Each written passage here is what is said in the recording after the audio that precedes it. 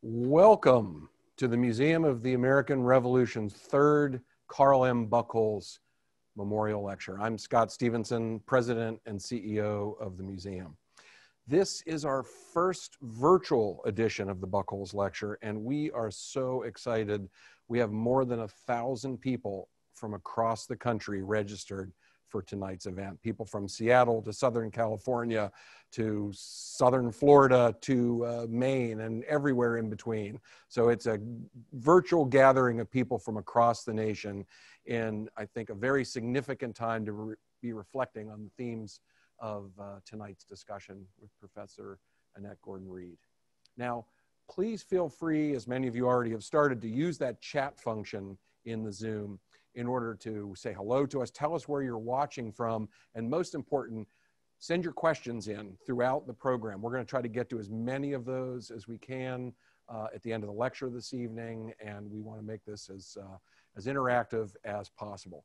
Now, this is normally a ticketed event at the museum, and tonight's lecture is virtual and free thanks to the generosity of several members of our board of directors. And so we're very grateful to recognize our chairman, Morris Offit, who's watching tonight, as is our vice chair, Martha McGeary Snyder here in Philadelphia, Karen Buchholz, Stephen Schwab in Chicago, whose support this evening is in memory of his aunts, Terry and Penny Schwab.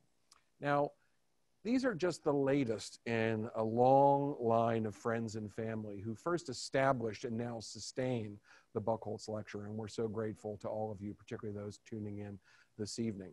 And more broadly, our work to ensure that the promise of the American Revolution endures depends on the ongoing support of our more than 5,000 members, Revolution Society and George Washington Council donors from across the nation, from all 50 states who uh, support us here at the museum.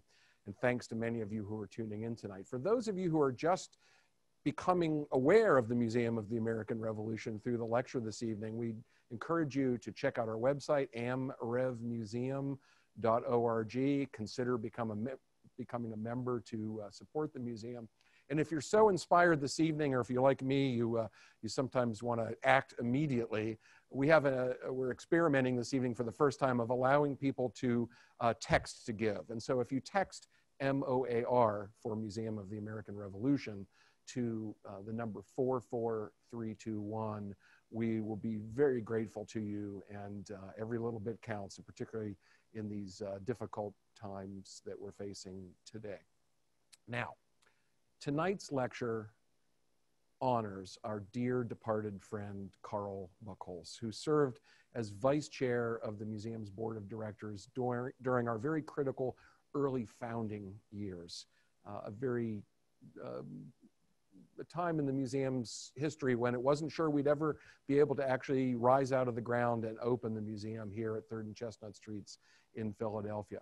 Now, we are so blessed today to count among our board members uh, Carl's wife, Karen, who herself is an incredible star and a leader in Philadelphia's corporate and philanthropic community. And of course, she's here uh, this evening uh, tuning in as well. And the tradition in this amazing Buchholz family continues to the next generation. And so I'm so pleased to welcome Carl and Karen's daughter, Julia Buchholz, this evening. She's a senior, by the way, at the University of Pennsylvania, studying history, politics, and public policy.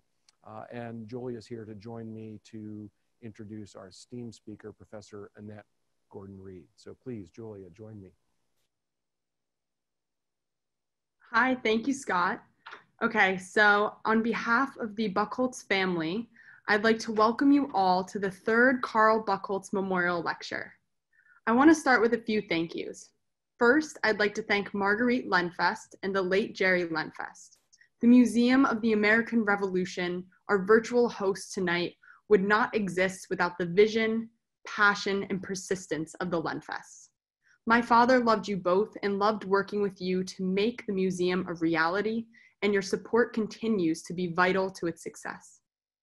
I also want to thank Comcast and DLA Piper for their generous contributions once again to endow this lecture, for their steadfast support during my father's career, and for ensuring that his legacy will continue to live through projects that were important to him. I'd also like to thank Martha Snyder and Stephen Schwab for co-chairing this event, Board Chair Morris Offit for his generous support, and for the museum's work in making this event come to fruition.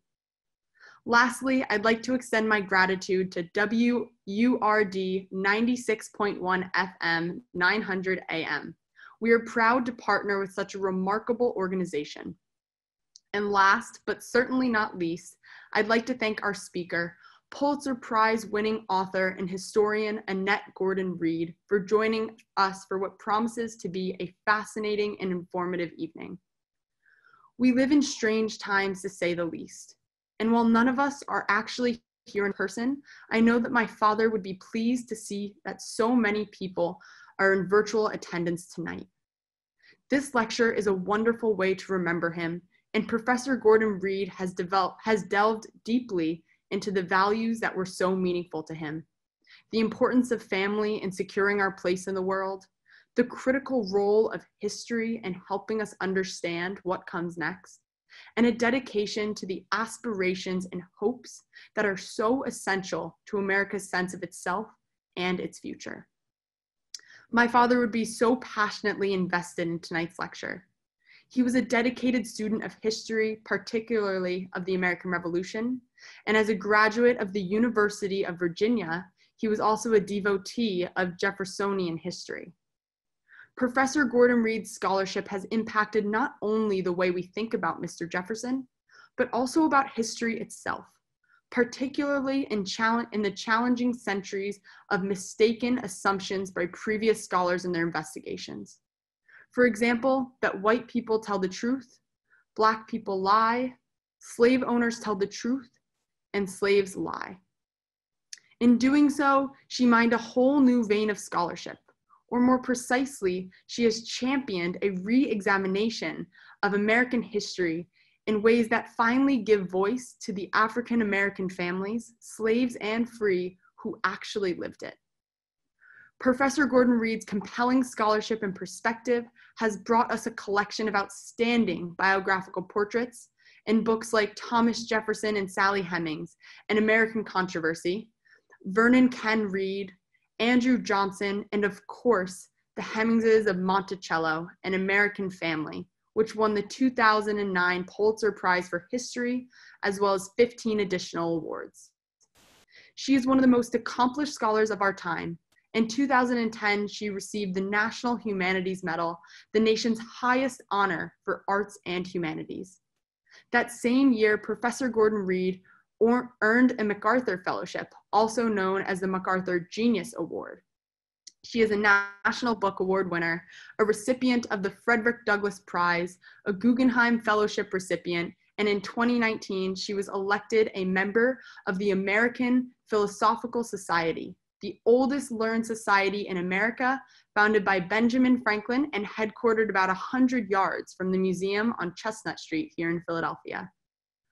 Earlier this summer, she was named a university professor, the very highest honor for a faculty member at Harvard University. And announcing her selection, the university said, she reminds us of the transformative power of academic discovery. Her achievements alone make her a very worthy candidate um, to lead the Carl Buchholz lecture tonight. But at a time when our nation confronts issues of systemic racism and calls for social justice, Professor Gordon Reed's remarkable portrait of the troublesome history of Thomas Jefferson requires all of us to focus on the fact that American ideals have almost always clashed with American realities. Jefferson offers perhaps the very best example of this struggle. As Professor Gordon Reed wrote in a 2017 essay called Charlottesville Why Jefferson Matters, the Jefferson of the Declaration of Independence, with its words proclaiming self evident truths about the equality of mankind and the pursuit of happiness, has inspired people the world over. But there is still the Jefferson who enslaved people, and he has also said that blacks and whites could not live together in harmony. This struggle between Jefferson's inspirational ideals and his own refusal to count African American among those worthy to pursue and enjoy them lies at the heart of America's current reckoning on race relations. Or, as Professor Gordon Reed wrote, perhaps coming fully to grips with the paradoxes that Jefferson's life presents is what being an American is all about. President Obama, paraphrasing William Faulkner, once said, The past isn't dead and buried. In fact, it isn't even past. More importantly, by far, is how we use the past to guide our lives today. In other words, how we get to a usable past. Few, if any, historians are as well equipped as Professor Annette Gordon Reed to lead this effort. Ladies and gentlemen, please join me in welcoming this remarkable woman to Philadelphia.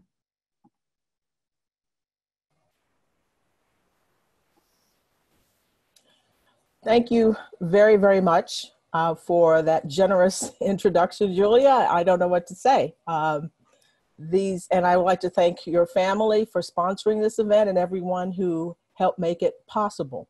Um, these are indeed extraordinary times. It's an extraordinary way of doing this. We're getting used to this idea of speaking uh, into a camera uh, for an unseen audience. But I am looking forward to the questions that you will ask at the end of the evening because that is always the best part of these kinds of things. You know, we are living in extraordinary times. Uh, over the past few months, I've been asked by a number of people, have we seen this before? Julia mentioned wanting to have a usable past. People are interested in what happened before as a way of perhaps suggesting to us how we might handle our present and go forward into the future. And I've said over and over, well, I don't recall any time exactly like this. We have had a pandemic before. We think of the Spanish flu, that comes to mind immediately. We've had times when the country was sharply riven by partisan concerns, certainly to the point that we actually had a civil war. We hope we're not at that point. Uh, but we've also had moments of economic distress what's interesting about this time is that all three of these things are happening at once and we haven't figured out how to deal with them. This has brought to the fore a lot of questions about the American system, about the American system of government. Um, voting, we're heading into an interesting, to say the least, election period. And as a scholar of the early American Republic, again, I'm often asked, you know, what do people make of this? What are we to make of this, given where we started and from where we are at this particular moment. Julia mentioned before the notion of a reckoning, a reckoning about race in the country. And this is something that has been added to the mix here with the death of the killing of George Floyd that galvanized people all over the country, all over the world, actually. It's been an amazing thing to see the outpouring of concern about policing after that particular event. There was Ferguson, Trayvon Martin. There have been other instances before this, and they didn't quite hit people in the same way. I've tried to figure out what was different about that situation compared to the other ones, um, why people had this particular response. I don't wonder if it's not that we have for many months been shut in uh, and sort of sheltering in place because of the pandemic. We've been wearing masks. We've been forced to think about ourselves as a community in ways that we don't typically do. And I don't wonder if that has not been a part of why people responded to that particular event in a sort of communal way, that people thought of it that had something to do with them and not was just some event that happened to other people in another place. But this reckoning that we've had with race is actually something that's been a long time making. I think this really got going in a very, very strong way with the events in Charleston some years ago when parishioners were killed by a white supremacist who was invited into the church. People welcomed him, they wanted him to pray with them, and nevertheless, he killed them. And we know that he was very, very much influenced by and had con- Confederate flags and other kind of paraphernalia that identified him or that he's identified as being part of a white supremacist movement. And these were the kinds of things that spurred him to action. And from that moment, there, even though there had been calls before for removing Confederate symbols from public spaces, the starkness of this event, people who had been kind to this young man, who wanted him to pray in the place where you think you would be safe, he nevertheless killed them. And people saw the connection between the iconography of the of the Confederacy and his views, and said enough is enough. We should not have those kinds of symbols in the public public square. I remember uh, I was asked a number of times how I felt about this, and I actually have written some things about it. People said that this is not that this would be an erasure of history to do this, that this was a question of heritage, not hate. And on the other side, people said no. The Confederates were defeated in battle. Their ideas about the future of America on the North American continent were defeated. Um, the institution of slavery was destroyed. Legalized slavery was destroyed by the Civil War. We should move on from that. And these symbols are hate or hurtful to Black people who live in towns. And you see these kinds of monuments to Confederate soldiers and the flag, things like that, were hurtful to them. And so these two sides clashed. And to my surprise, actually, uh, we began to see much more, much more action on that front when people began to say, this is a time to change.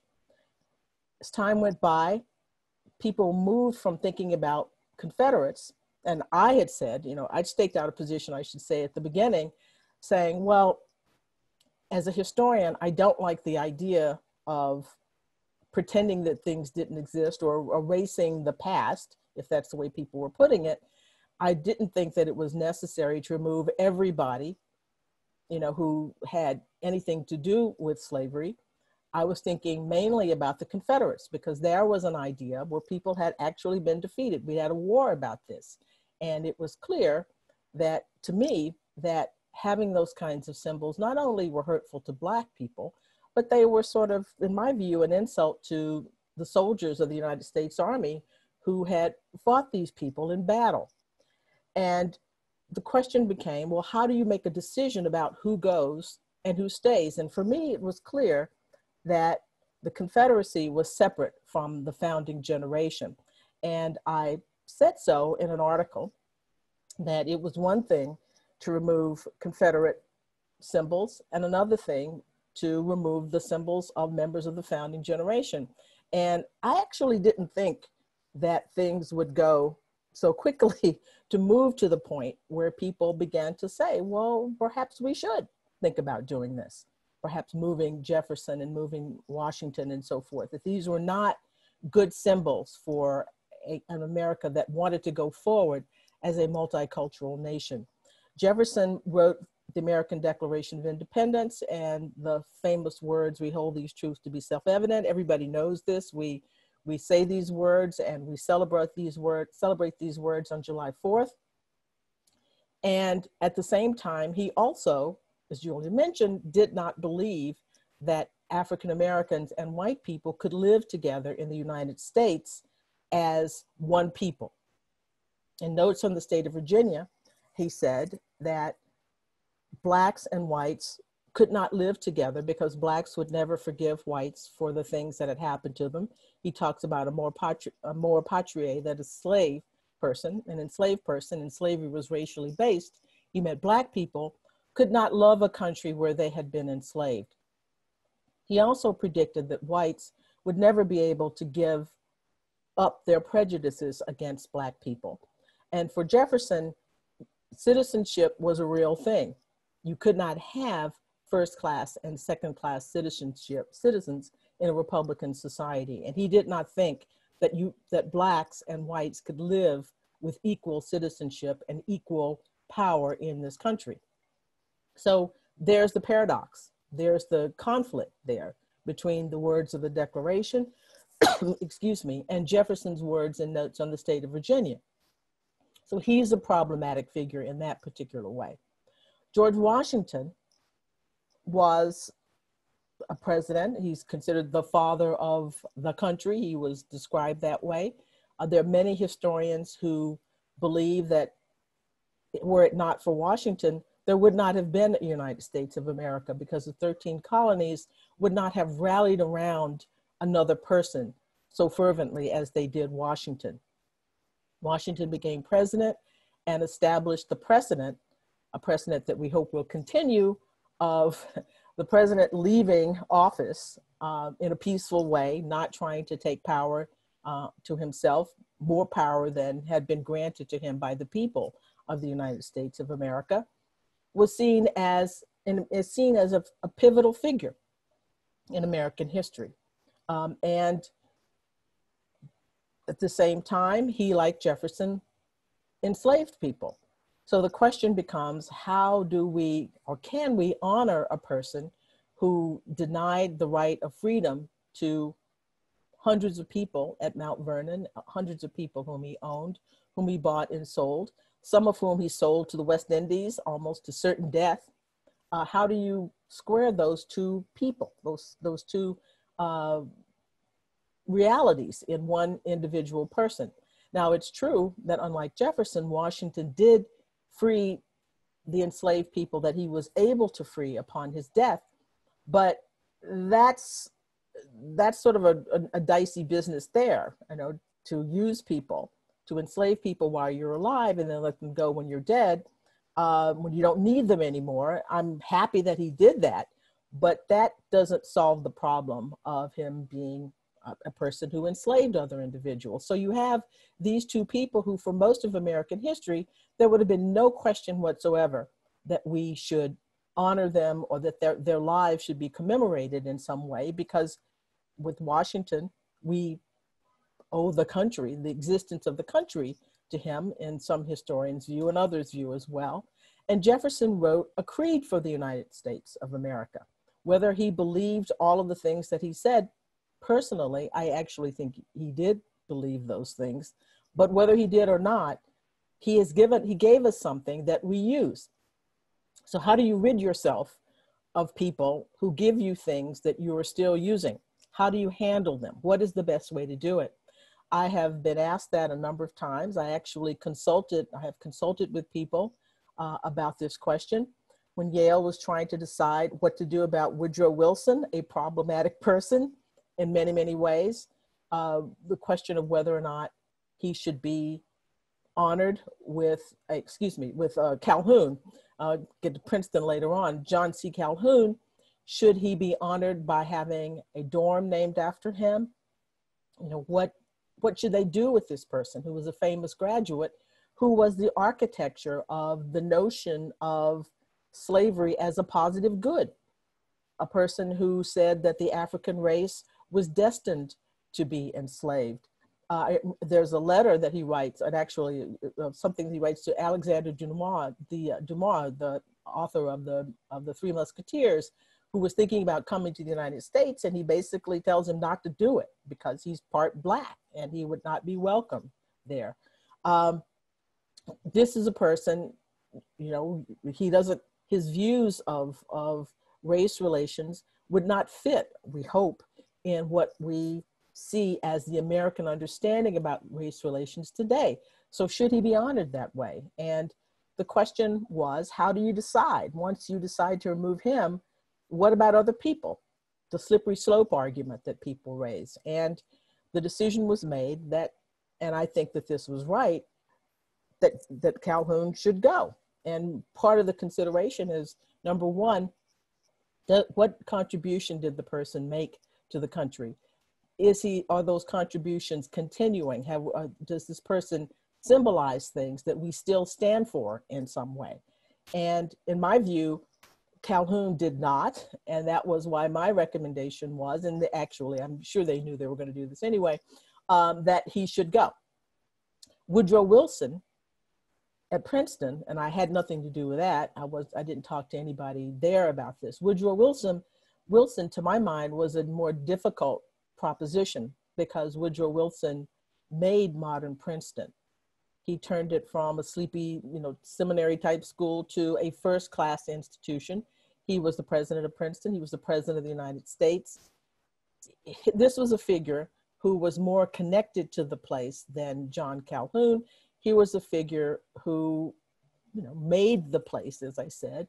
And that was a more difficult question. At first, they decided you know, to keep the name, but after the Floyd situation, after the situation recently, uh, after the new reckoning on race, uh, they made another decision. So this shows you it's an interesting thing for a historian to see this process happen in real time, for one decision to be made at one point and things happen, events happen. And this is the point about history that we that historians always stress is the nature of contingency. Nothing has nothing is inevitable nothing has to work the way uh, you, you think it's going to work out. It doesn't have to be that way. And this is what this is what history teaches us.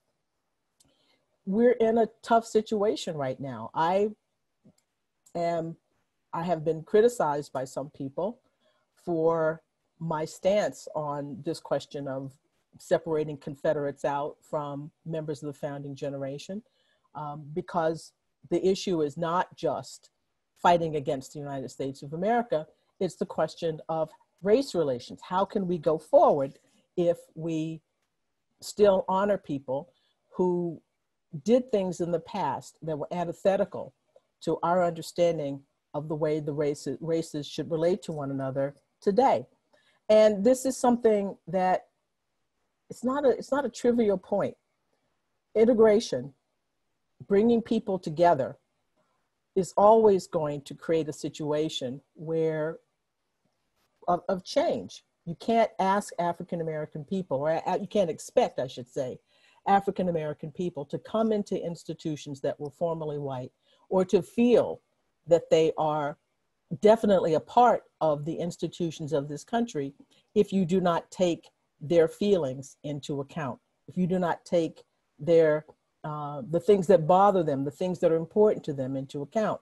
It's not just about bringing Black people in and the organization, none of our understandings about things change. It's about making people truly, really, and truly a part of the institution. So, institutions, and that's not just for, goes for universities, it also goes for the country as a whole. Voting, all those kinds of things it has to be, things have to change. When the country becomes really inclusive, there have there will in fact be things that don't you know, don't remain the same that you have to accommodate this new understanding and new understandings about the way the society should work.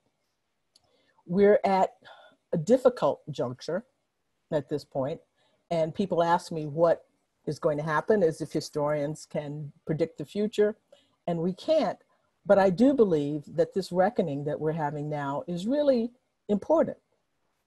It looks at this time, I know I've had had a number of conversations with friends who feel somewhat demoralized at this particular moment because they don't see the sort of backlash against the, there's sort of a backlash forming against the movements that have been put in place to try to bring about um, a, a, change after this racial rec- reckoning.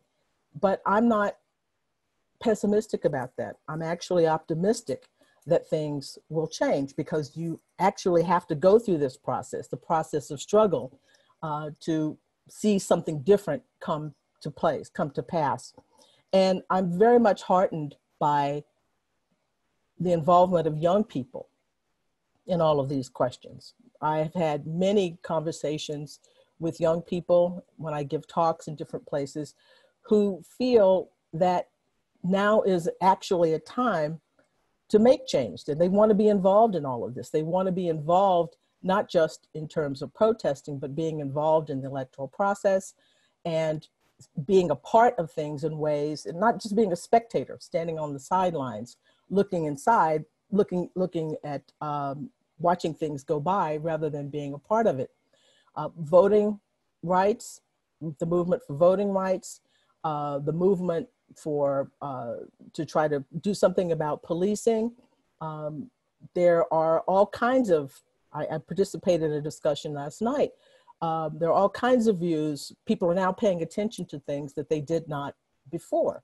Uh, the question of policing in, in America is something that has galvanized individuals. This is one area where technology, I think, has made a difference for people to actually see these things, to see people who have been assaulted, see people, see police officers dealing with people in ways that are problematic.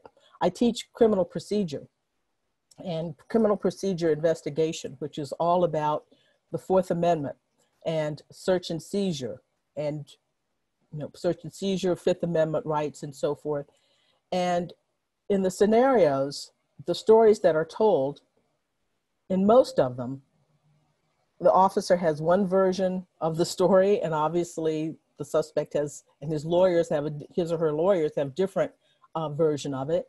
And you're not able to see these just in the words. But now that we actually have videotapes of people, it has changed the way my students talk about these particular matters because you can see a gap between a presentation that might be made on paper and what actually happened. Now, now film doesn't settle everything, but it's a way into these matters that we didn't have before.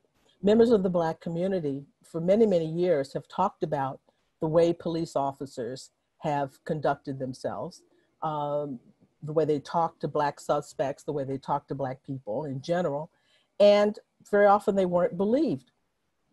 They weren't believed in these situations. But now, these videotapes, which in lots of ways are a double edged sword because they are traumatic for many people. And some people say, all right, we've gotten the message now. We don't really need to see this over and over again. But I do think that they have been invaluable in making people see policing in a different light.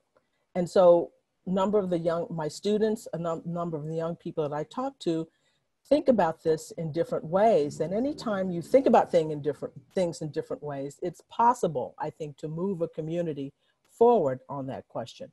We don't have a precise answer uh, to, to these matters and have a precise answer to how policing should be done, but I think it's useful to talk about these kinds of things. The bottom line for all of this is that we are the products of the past. The people who are controversial figures, Washington, Jefferson, those individuals who lived under a system of slavery, lived in a system where slavery was legal, racialized slavery, which gave people understandings about African American people vis a vis white people. We're still living with all of those things. And the difficult times that we're encountering right now are a product of all of those kinds of things. And my hope with all of this, and my answer to all of this in dealing with problematic figures, is that we contextualize them, that we explain how they figure in the American story, how they figure in the past, and how what their actions continue to influence us today. Jefferson, in Notes on the State of Virginia and some of his policies, did things that were helpful to the country, obviously, but there are also things, the legacies of that time period that we're still living with. This whole question about Black citizenship, which is related to the issue of policing. You know, are, if Blacks are 100% citizens or true citizens, they ought to be able to expect a certain kind of treatment um, equal treatment, the kind of treatment that whites receive as well. But this is something that was the groundwork for all of this was laid during the time of slavery, and we have to recognize that. So my answer is that we contextualize these figures to the extent that we can. When there are people who have made contributions to the country that are lasting, which I believe Jefferson has, but is a problematic figure in other ways, we take the bitter with the sweet. We take the good things that they did and recognize that, but we also tell people of the side that are the sides of things that are problematic. The Jefferson Memorial in Washington, I think the, I visited for the first time, believe it or not, just a few years ago. And one of the things that's stark about it is to see his statue across the tidal basin facing Martin Luther King, who seems to be, in a way, if you look at it, questioning Jefferson and saying, look, you have made the, this promise. Remember in the, in the great speech that he gave in the March on Washington, saying that this is sort of a bill that had come due, the American Declaration of Independence. To see those figures face off in that way, to my mind, puts the American story in its starkest form. And without that kind, those kinds of confrontations, without the kind of contextualizing, which I actually believe is going on now at the Jefferson Memorial, we lose something important. And so my answer would be to a Jefferson, a Washington, not Calhoun. We could do without Calhoun. That was a, a that was a branch of the river that went nowhere. You know, we we did not accept the idea that African Americans were fit just to be enslaved. There's not much we can learn from him, but from that's not much that I should say of his legacy that should continue with us in a good way because it's a legacy that is antithetical to where we want to go uh, as Americans, I believe. Those kinds of people, and we'll have arguments about this. People ask me if there's a precise, there's no precise formula for this, this situation, but we have to have dialogue about it and have a discussion about all of this to try to figure out who remains. Because I, I definitely think that you actually need figures of the past as reminders of where we've been and reminders of how far we've come in those situations. And these are not people who have to be heroes in the sense that you are you worship them or you think that they're perfect people because they were decidedly not perfect people but they are people who whose lives mean something or should mean something to us because they help put the country on the path that we have been on. They actually created it. And if you think that the United States of America was a worthy creation, you should know about the men and the women who helped put those, uh, help put the country on the path, actually brought it into, cre- into creation.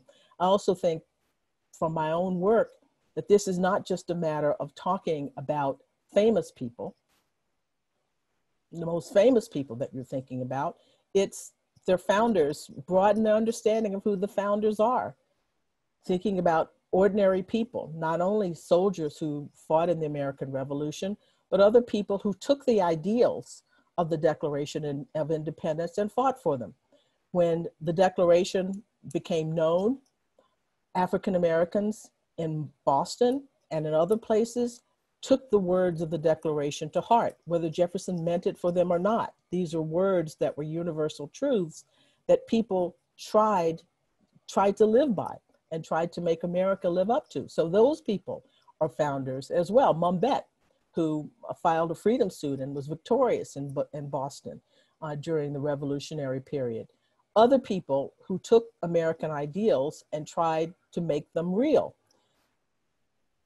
Criticism, uh, as other people have said, James Baldwin has said, that one of the, he actually loved America and he loved America enough to be able to criticize it. And I think that is what I've tried to hold in my in my mind and thinking as a, as a historian and writing about the past and writing about these people. It's not about hero worship. It's not about thinking that people are perfect. It's about understanding the contributions that people made, putting putting them in context, and understanding that they were human beings. They were human beings who I think did something that was worthwhile to, for the world it created a country that was not perfect.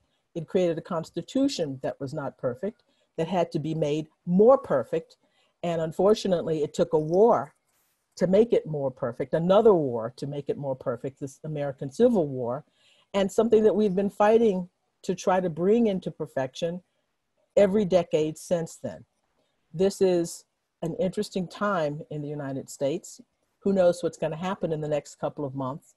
But I am confident that people in this country who love this country will keep the faith and understand the importance of being able to move from one leader to the next leader in a peaceful way without any kind of discord, without any kind of, well, serious discord. There's always discord in, in politics, but nothing serious that will help us go forward for the next century.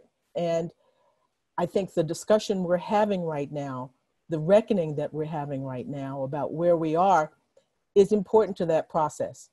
I mean, we have to be able to disagree, to have different viewpoints, but to understand that we are Americans and that we care about this country.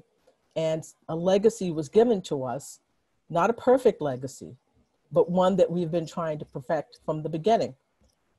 Troublesome people in, from the past, they are part of who we are, and we should recognize that.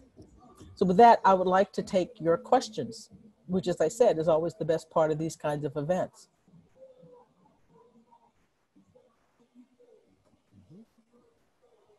I think I'm back. I'm not sure what the uh, the Zoom version of applause is, but let's all do it from wherever we are.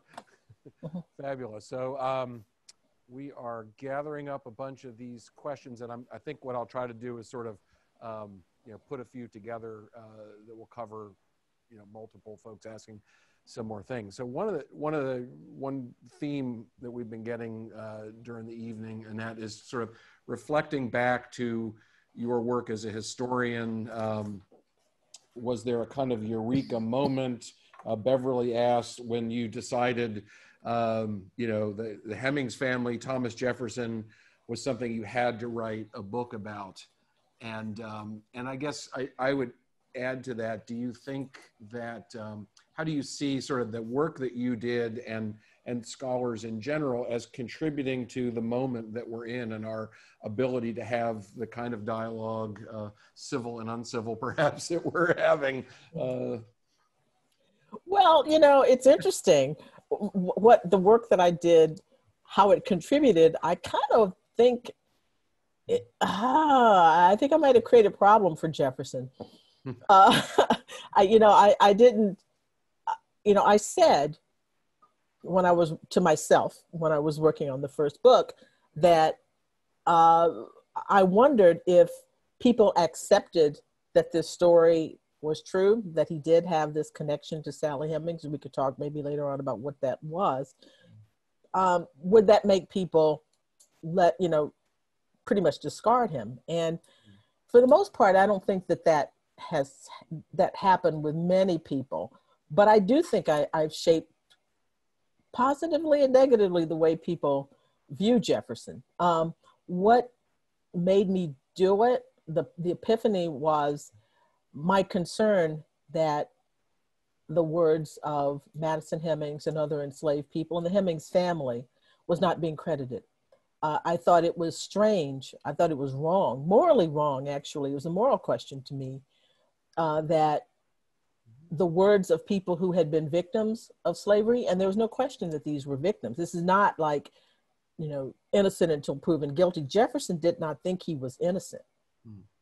And I'm not talking about the Hemings thing, but I mean, as a slave owner, he did not think that he was innocent in doing that. He knew that that was wrong. And people say, well, he must not have known it was wrong because he kept doing it, except that would be true if human beings always did what they knew was right and we don't. we don't, you know? And he knew that he was wrong. So it struck me as odd that historians would cast him and other slaveholders in the role of innocent people and say that the enslaved people were the ones who had to prove that something bad had happened to them. So that's that's really what it was. It was not, oh, I want to prove Tom and Sally had some long, you know, connection or whatever. It was why. Historians, why are you crediting, giving more credit to the words of enslaved enslavers over the people who were enslaved. So that's that was the real epiphany for me. I wanted to investigate that and, and actually to point that out. I mean, my first book was really to my mind creating a record. I wasn't really writing so much to the people of the time. Hmm. I wanted to say for future generations, if anybody should look at the book, here is here is how we lived. This is the way people thought about at a particular moment in history, the way people thought about this particular problem. And I think it said something about the, the nature of, of the situation that Black people were in. Hmm. So I know um, a lot, a lot of uh, another theme that we're getting a lot of questions is sort of about the present moment, about the role of historians in uh, kind of public discourse. Um, uh, I what everyone's heard of, if perhaps doesn't understand all the nuances of what this, the the 1619 project. Now there is a there is a 1776 commission. There's a lot, a, lot of discussion about mm-hmm. uh, history that 65 commission. Who knows? so go. well, I mean, it's well, it's a question. I mean. Uh, yeah, I, I, wonder if you could just sort of, uh, uh, if you could, um, a for those who maybe have seen the words but don't really know the nuances of what what actually what the 1619 project has been. I know you participated oh, oh, oh. in at least one panel discussion, uh, and then you know the, the sort of uh, discussion that's going on right now. Well, right now uh, the 1619 project was a project that was designed to talk about the importance of slavery in the United States. Um, it became controversial because it had it made a claim say suggesting well you might say that the united states was actually founded in 1619 um, instead of 1776 which of course are fighting words uh, you know and i think it was meant as a provocation mm. uh, because it's obviously that's crazy i mean not, i don't say that's not crazy but it's not there was no united states in 1619 and that back this point that i made about contingency hmm. 1619, uh, the, uh, the United States is not inevitable at that point. Even imaginable, perhaps. Imaginable, imaginable at this point. They would have said, You're America. I mean, you know, you're citizens of the United States. And they would have gone, What? What are you talking about? Hmm. I mean, they were subjects, they were English subjects dealing with African people who had been, the first 20 had been people who'd been captured from the Spanish. so th- this is not in the making. So I think it became a controversial point because of of a rhetorical flourish but the basic idea that slavery the institution of slavery is a big part of american history is essential to the early american republic and all those things is true you know i mean that was not needed uh, the point is actually there. So yeah I, I think that there's been a backlash against um, that and there's a presidential commission i don't know did he sign an executive order or something like that? I don't know who's on the commission or whatever but uh, mm. people are trying to it, it goes back to what we're what we're talking about. I was talking about before about right now people are trying to grapple with how do you handle the past? I mean we like the stories about um, you know concord we like the stories about you know, you know George Washington and the cherry. We don't like that much the cherry tree, they very much, but we like the image of it. But we have to deal with the realities that make things not totally pleasant. So I, I think that there's a there's a tit for tat going on. it's probably not going to calm down anytime soon. I don't think so. So we have a, a number of people tuning in tonight who are either um, uh, K through 12 educators or people, museum educators working in, mm-hmm. uh, in historic sites, some right across the street from where I'm sitting, including some of my own staff. And I'm, I'm curious, Annette, if, if you have sort of uh, any suggestions, recommendations, reflections on sort of how to have these kinds of hard conversations, you know, with different audiences. I mean, it's one thing for, uh, you know, scholars uh, around the seminar table or public intellectuals, you know, writing uh, mm-hmm. pieces. But you know, so much of the way the nation is actually uh, you know engaging in these conversations is in in places like uh, like this in the classroom, and um, we love museums as well. So, mm-hmm, mm-hmm. Yeah. Well, you know, I think. Well, depends on the subject matter. If it's mm-hmm. about Jefferson, um, certainly Monticello has done a lot for teachers, has a lot of mm-hmm. material for teachers to, to deal, you know, to, to help them talk about these kinds of subjects. Um, I think, I don't know, you know, I have talked to lots of different types of audiences, and I think what the key is respect. Mm. I mean, that's sort of a generalized statement, but I have found that if you talk to people honestly and with a degree of respect, if you're willing to not cut people off when they express an opinion that's different Mm. from yours, or to see a difference as making that person your enemy in a way, I think it's the spirit with which you engage in these conversations. Now, with children, you know, if you talk about children are very much into fairness, and if you talk about, you know, the unfairness, thinking of, get them to think about what it would be, how they would feel Mhm. in those situations. If you were in, in a in a in a situation where you could be separated from your parents, uh, when you're made to work yourself as a child, and and to do things that you know, not being educated, not having the opportunities that they have. I mean, it, it's a there's a way to do it, and I've seen a lot of teachers. And there's there's a lot of material for that. For the um, there's there are books, children's books. That's what actually got me into history, reading a child's biography uh, about Jefferson and Monticello. Um, look for, and there are plenty of books about. You know, there's a book about the Hemings children, written you know for young people. Those those are ways into it that I think that make people have the kind of empathy that is needed to work the, through these situations. You're not talking about another species, you're talking about other human beings, and emphasizing that seems to work. Uh, a more specific question, going back to uh, the the mountaintop there outside Charlottesville, a Mhm. question about um, you know the degree to which you think the issue of personal debt, um, specifically for Jefferson, but of course it uh, you know many of the people of Jefferson's class in this period, it's sometimes said that that that was a, a impossible barrier for considering emancipation and how do you see that playing a role in you know in Jefferson's uh, relationship to that that Well, it played would- some it played some role, but Yeah. Jefferson did not believe in individual emancipations.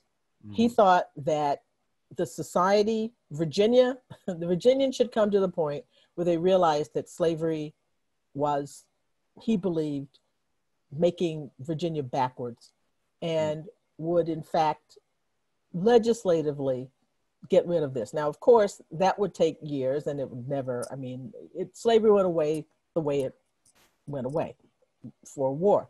But he could not have contemplated that. So I don't think that even if Jefferson, Hmm. You know, financially could have done so, he couldn't have because he died in debt, and so that was out of the question. But say that he could, he he thought that individual emancipations were just ways that individual people made themselves feel good. It Mhm. didn't solve the problem. Uh, it, the problem, black, there should be a general emancipation, and so I, I don't think that the debt was not really the issue, even though realistically, I mean, he, he couldn't have freed them because the, you know, enslaved people were assets in the hands of the executors. They could, in fact, be sold to pay debts. Fabulous. So um, this is a, a question from Scarlett, who I recognize as a, as a great friend of Mount Vernon's and Monticello's and the Museum of the American Revolutions uh, as, a, as a master's student and is asking about, uh, says she's about to tackle, uh, tackle analyzing the morality, ideals, controversy of the American Revolution for a thesis and is asking about how to avoid putting one's own bias uh, into historical analysis, or is that even possible? Well, Bernard Bailyn said that just because, and I'm paraphrasing him, the great historian, that just because you can't have 100% objectivity doesn't mean that you don't try for it. and the best, because you can't, I mean, you can only see things through your perspective. Mhm. You try to check yourself, and I try to check myself by, you know, anytime I come to a point or something that bothers me that I'm looking at a, a bit of evidence, something bothers me, I have to stop and ask myself, why does that bother me? Hmm.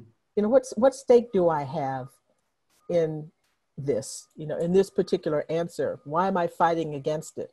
And I think you have to be honest with yourself that we do have preferences, right? We do, you know, there are things you would rather this person didn't do this or didn't say that or whatever, but in fact, they did, and you have to deal with it. So, the best thing you can do, I think, is to just constantly talk to yourself about it because you can't have 100% objectivity, but I do think you should try for it. I, I'm not with this idea where you just sort of say, well, because we can't, if it can't be perfect, then we're just, we don't try. It's a constant battle. And sometimes you have to you know you test it against other people run it by other folks uh, but mainly it's being honest with yourself. You know i don't i don't like this story. I don't like this part of it. And but you got to do it. And one of the things that keeps you honest for me is i don't want anybody telling me something that i that you know what i mean? I don't want Hmm. for me not seeing something for another person to come in and say oh didn't you notice? So it's the competitive part of it to me that sort of says it's like being a lawyer i mean everybody thinks you know i was trained as a lawyer and my first book came out everybody said well you know lawyers always put things you know just just tell their side of the story bad lawyers tell only their side of the story good lawyers know the other side better than the other side mm. because that you can't you have to so the the moment is getting to that moment where you're honest with yourself about mm. your evidence and honest with yourself about the other person so that you can deal with it and it's the fear for me it's the fear of being having somebody come and say you're wrong that which is worse you know so that's know where all the, know where all the holes are in other exactly words. exactly you need to know that yeah uh, I'd, I'd love to shift to a, sort of forward uh, reflecting question about the approaching 250th, uh, 2026. Uh, mm-hmm. and, um, you know, boy, our, we're starting to, you know, think Yeah, you guys have got us. As you can imagine. Yeah. Uh, you know, those conversations were a lot different six months ago than they are now. Uh, so it's evolving, obviously. That just curious, you know, what are you thinking about? What are your hopes, aspirations? Uh, you know, what what do you think, uh, how do you think that the nation's relationship to its revolutionary history might be different uh, in 2026 than it is now? Or, well, or perhaps when we were living through the bicentennial? Yeah, yeah. I, you know, I was in high school then, and I remember it as much more celebratory. Obviously, I think it's going to be celebratory mm-hmm. still, but I think it will be cel- celebratory in a uh, mature is a value uh, laden word. I, I think it. I think people. are, I think people are going to be interested. People are going to be interested in the real stories. You know, I, I don't. Do you know what I mean? I, I think, I think there will be celebration, but I think that people are looking for a broader picture of mm-hmm. this. They want to know, as I said when I was talking in my talk about not just the great men I think people want to know history from the bottom up as well. The great man will be there, but mm-hmm. history from the bottom up will be a part of it as well. My hope for it is that we we make it there intact. you know, I mean, I yeah. I do. I mean, I you know, this is very very hard for a historian of the early American Republic. This moment now, um, where every day you sort of wonder, is this going to work? and I, I think it will. I hope that it will, but that's what I'm hoping for is to get that we get there, we get past this moment and get there intact with the American Republic in place. From your lips to God's ears, absolutely. Um, I'm curious, just in the field, because we have a we have a number of people who are budding historians, you know, who are uh, starting degrees, and a lot of questions about kind of fields of endeavor you know what, what, where's the exciting work happening what work needs to be done what are the uh, areas that you might direct um, uh, budding historians of of the rising generation to mm-hmm. uh, you know, direct their efforts well um, well there are lots of things i think political history um, is making a comeback but political history that melds insights from social history together. It, it's putting things together instead of having, um, uh, you know, siloed uh, historical concentrations, that we bring those two things together. I think globalization, I mean, I think bringing the American story, widening the American story. These people lived in a world of markets. Um, they traded with people across the Atlantic, uh, you know, North America, South America. I mean, I know this. Well, Jefferson had his hand in everything, so he's you know dealing with people everywhere, writing to people everywhere. I think that you know compare, comparative slavery, I think, is interesting. Um, uh, we tend to think of these as separate systems and, and totally different, but slavery in the Caribbean and slavery in um, Virginia, slavery in America, those are interesting points. Uh, uh, Karin Wulf down at the Omohundro Institute talks about vast America. Hmm. Uh, pulling these things together, uh, you know, I'm writing, well, I mean, the West, but the Spanish West. Uh, we sort of have America that's kind of drifts off, and then California, something's going on out there during this time period. Uh, bringing all these things together to see vast America as as connected, I think that that's. That's going to be the that's the thing that, that's going on right now and will continue.